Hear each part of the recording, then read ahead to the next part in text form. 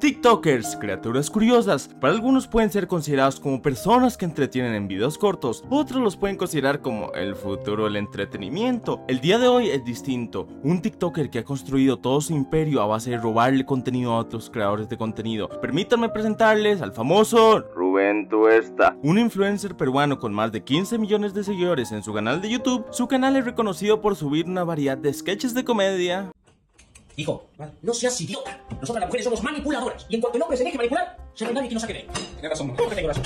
Esto, eso, vamos a ponerlo en la puta cara. Escúchame una cosa, señora mía. A mí me vas a respetar, ¿ok? Y te voy a decir una cosa y no te lo pienso repetir otra vez. Canciones parodia que bueno es su contenido entre muchísimas comillas más original. Unirle a su amiga Raquel, está todo preparado, solo falta un papel. Entre otros contenidos, de su pasado antes de YouTube no se sabe absolutamente nada, solo que toda su fama y personaje fueron originarios por Cachetes, que no es más que la versión marca pirata de Kiko. Sus inicios fueron algo extraños, siendo que Rubén en el año 2019 subiría un contenido completamente distinto al que está haciendo actualmente, subiría fandubs. Uh, hola, es genial verlos de nuevo. Estos primeros videos serían experimentales, aunque darían pie a que la gente conociera su personaje insignia, Cachetes, debido a que el tipo le sale una voz muy similar a la del actor original. Su personaje sería muy querido por estos años, siendo que tendría participaciones en distintos programas de comedia argentinos, uno de estos siendo Canal 9. ¿En avión? Ay, muchas veces en todas mis vidas, acá me olvidé mi pelota. ¡Se le pinchó la pelota! ¿Qué le pasó?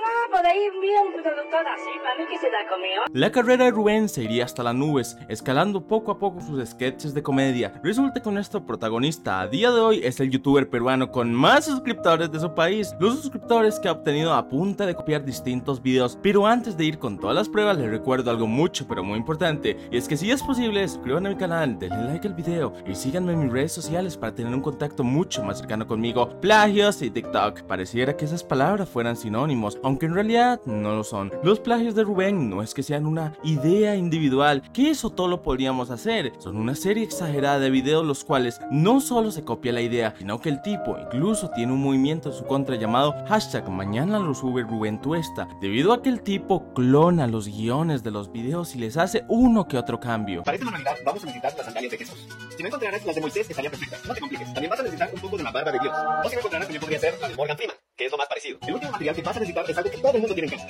Una manzana, obviamente, mordida por Adán y Eva. Y para esta manualidad vamos a necesitar las sandalias de Jesús. Y si no las encuentras, las de Moisés estarían perfectas. No te compliques. Otra cosa que vamos a necesitar es un poco de la barba de Dios. Y si no encuentras un poco de la de Morgan Freeman, estaría perfecto. Y por último vamos a necesitar algo que siempre tienen en casa. Una manzana. Y por supuesto, mordida por Adán y Eva. Y con todos estos materiales puedes empezar tu manualidad de Semana Santa. Sí, algo que le debo reconocer al tipo es que bueno, supongo que se viste como Kiko. Todo este tema la verdad me deja muy mal, ya que en la comunidad de críticas y en general en YouTube se tiene la idea de que está bien agarrar las ideas de otras personas, mientras que literalmente no clone su contenido. Ya vimos estos con los clones extraños de MrBeast, sino también con varios youtubers de críticas que literal sacan los clips y el guion de otras personas para hacer pasar sus videos como contenido original. El tema es que en este caso lo de Rubén no es normal, no está copiando una tendencia, no está copiando una tendencia, no está copiando el baile promedio de TikTok, solo está agarrando un video y lo está prácticamente resubiendo a su canal con la diferencia de que tiene un disfraz de Kiko que si dice que es Kiko, Grupo Chespirito le mete una demanda.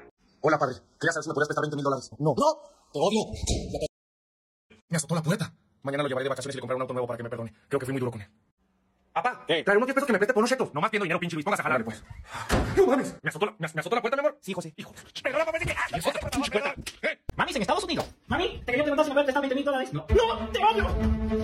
¡Odio a esta familia! Ay, me golpeó la puerta. Ay, creo que fui muy duro con él. Mañana lo llevo de vacaciones y le compro un auto nuevo. Si le perdona. Ah, pero mami, ¿también Latina? Mami, ¿me prestas 50 pesos para comprarme unos chetos? ¿Vos te pensás que yo pago plata? ¿Eh? No, lo único que se me es pedir, pedir plata. ¿Vas a estudiar? Sí, ahí voy. Yo creo que esto es ridículo y lo peor con esto es que creo capaz a este sujeto de ir y tirarme los videos con la herramienta de copy, lo cual me parecería exageradamente bajo. Ahora, acá sí hay espacio a muchísima reflexión, ya que este tipo es otro caso más de youtuber que agarra los videos de otro y los imita. En la comunidad de críticas yo he visto muchísimos de estos casos y no hablo de inspiración, que para el caso yo me inspiré en este video que están viendo en pantalla para hacer este otro video que ustedes viendo ahora mismo, pero el tema es que una cosa es inspiración, como pueden ser los creadores de contenido que buscan crear contenido similar al del público inglés. Otra cosa es agarrar la idea de alguien y hacerla a tu propio estilo, lo cual es respetable. De eso nadie se queja, ya que si alguien ve mi video es en parte por las recomendaciones de YouTube y hasta cierto punto por mi agregado como creador de contenido. Mi canal no es puro algoritmo como otros canales, pero tampoco es que mi persona carree el canal, es una mezcla, pero lo que sí está bastante feo es el tema de que si alguien plagia tu contenido de manera descarada, te roba los temas, el guion y todo, pero el algoritmo lo favorece porque ese tipo tiene mucha suerte, como en el caso de Rubén, va a resultar que tu video se va a ir a ya saben dónde. Todo por un tipo que no tiene talento, cuya carrera es un clon del clon del clon de otros artistas. Vamos, que hasta su personaje es una copia. Ya esto sobrepasó la línea de es que un gringo lo subió en inglés y ahora lo pongo en español. No, esto no es inspiración, esto inclusive tampoco es copia, esto es literalmente plagio. Esta línea se sobrepasó hace muchísimo tiempo, lo cual me parece nefasto, ya que este tipo de manera activa le hace daño a los canales que copia con esta clase de cosas tan nefastas. Un mudo caminando y encuentra un letrero que decía, se hacen carta a los mudos. ¿Para quién sería su carta, amigo? Para su madre. ¿Cómo se llama su madre? María. ¿De parte de quién sería la carta? Lámpara. Ah, Luz. Ah, Luciano. ¿Y qué es lo que usted le quiere mandar a decir aquí en la carta? Ah, que usted ha trabajado muy duro y le va a mandar dinero. Para que le compre ropa a sus hermanos. Perfecto. Ah, y un biberón para el chiquito. Vaya, aquí está su carta, son 10 pesos. Que no tiene dinero. Está bien, no se preocupe. Ahí le voy a regalar la carta. Que yo le dé 20 pesos para su pasaje. Está bien, te lo voy a dar, pero ya no vengas a pedirme. Gracias, viejo. Desgraciado. Iba un mudo caminando y encontró un letrero que decía, se hacen cartas a mudos. ¿Para qué sería la carta, amigo? Ah, para su mamá. ¿Cómo se llama su mamá? María. Ok, ¿solo para ella? Lámpara. Luz. ¡Ah, Luciano! ¿Y qué le quiere decir la carta? Que estás trabajando mucho para mandarles dinero. Para que se compren ropa.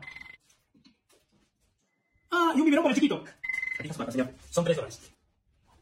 No tenés plata para pagarla. Ándate, te la regalo. ¿Querés que te regale 5 dólares para tu pasaje? Toma, te voy a dar 5 dólares. No olvides más y vete de acá. ¡Gracias, viejo! De nada.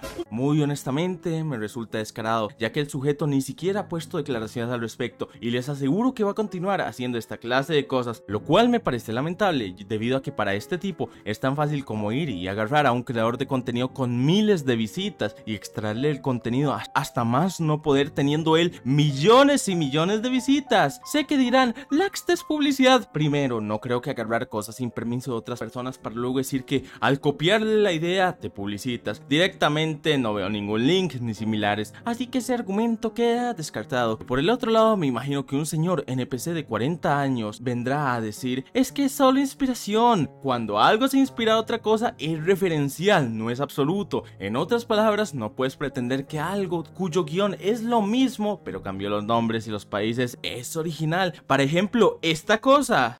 Cariño, Majito se movió, ven, tócalo para que puedas sentirlo. No, ¿de verdad? Hola, hijito, ¿cómo va todo por ahí dentro? Ah, papá, todo fachidito acá en la piscina, ¿y vos? Ah, sí se movió. ¿Ya viste? Tiene mano dura, cariño, ¿eh? ¿Quieres jugar? Cariño, ¿todo bien? Sí, sí. Nada más porque está allá adentro este cabrón y sabe que no puedo pegarle. ¿Cómo que pegarle? Cariño, pídele perdón a Maxito. Ok, ok. Te escondes adentro de tu mami, ¿eh? Pero ya verás cuando salgas de ahí, maldito. Cariño, ¿estás bien? Ah, papá, te pegué fuerte. ¡Oh! ¡Cariño, no! ¡Idiota! Ya estoy acá afuera, vení, dale. ¡Bájale, déjate pelear! ¡Y tú, ven aquí adentro! ¡Ay, ¿por qué se movió? ¿Se movió? ¿Toca la campeón, ¿cómo va todo por ahí adentro? Papi, acabas de dejar una piscina y tú. Sí, se movió, ¿viste? ¿Tiene la mano dura, mi amor, eh? ¿Quieres jugar? ¿Cómo todo bien? Este pendejo se aprovecha que está dentro y no puedo pegarle. ¿Cómo pegarle? Ven y pedirle disculpas a la chete. Ok, voy. Todo porque te escondes dentro de tu mamá, pendejo, eh. Pero sabes cuando salgas. ¿Mi amor, está bien? Papi, ¿te pegué fuerte? Hombre, dime, dime, ya está, ya está, a ver, ven, dale. Bueno, basta, déjame pelear, ven, acá. Mira, la verdad estoy decepcionado, me parece muy pero muy bajo. Ya no es que la calidad y todo eso, porque Dios, acabamos de ver un video con un gameplay de fondo, sino que hermano, hay gente que está siendo directamente adjudicada por el trabajo de este TikToker. Así de rápido, ¿qué tan buena para matemáticas? mejor. ¿Dos por dos? Cinco. Ay, hija de tu madre. Pero sí supiste lo que pasó con la vecina en su casa, ¿verdad? Así más bien, es que feo la Carola ¡Ey, ey, ey! ey, ¡Qué buena está el chisme! Palmitote si eres buena, cabrona. Pues tengo el mejor maestro. Ni me digas que soy chismosa. Además, miraste la camioneta del Sí, era blanca y tenía una raya... Ay, sí, soy chismosa. ¿qué? ¿Qué onda? Cachete, ¿qué onda con la matemática? El mejor, dos por dos, cinco. Oh, hijo de tu madre. Igual de bruto que el padre. Ah, pero sí sabes lo que pasó el fin de semana con la vecina, ¿no? Ay, no olvides que quiero agarrar de las leyes a la vecina y se tiraron las practicantes. Míralo, míralo, míralo, míralo, cómo te bueno para el chisme. Bueno, tengo la mejor maestra, ¿no? No, no, no me digas que soy chismosa. Mami, ¿viste la camioneta de la vecina? Sí, la verdad, con una malla. Ay, sí, soy chismosa. Con la intención de tener patrocinios y tratar de monetizar. Rubén, si ves esto, al chile vete a chambear. Chambear, pero chambea seriamente. Que en la construcción no le puedes robar la técnica de agarrar la pala a un compañero tuyo. ¿Qué conclusión saco yo de esto? Que ganar seguidores con los shorts es tan pero tan fácil como agarrar las ideas de creadores de contenido más pequeño y exprimirlas para tener patrocinios y marcas que te respalden. Que si eres un creador de contenido pequeño, pues te van a ocultar los videos porque existe un video mil veces más grande que el tuyo, solo porque la gente va a pensar que ese video que guionizaste durante tanto tiempo es una copia del video que sí es una copia. Sin más, yo que les puedo decir, espero que les haya gustado mi video, pero antes de terminar me gustaría decirles algo mucho pero muy importante, y es que si les gusta mi contenido, se suscriban al canal, den like al video y me sigan en redes sociales. Este es Yolaxte, hasta la próxima, adiós.